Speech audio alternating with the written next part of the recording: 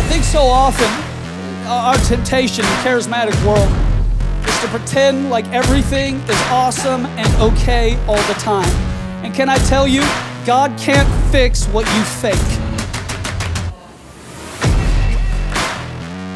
And some of us don't like wearing masks, but if we were to be honest, we've been wearing masks at church all our lives.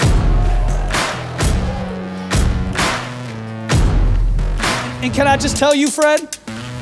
When you can become okay with being transparent with the God who sees everything, anyways, that's when His grace interrupts your cycle of dysfunction and brings healing to your life. And I think there's a coming wave of God's Spirit breathing on our churches. And I think in doing so, it's changing the narrative.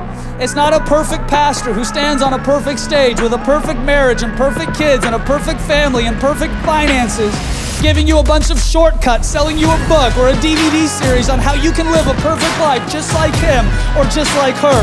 It's people who are willing to be transparent about their stuff because it gives credit to the great grace and the great mercy of Jesus who sits on a throne above.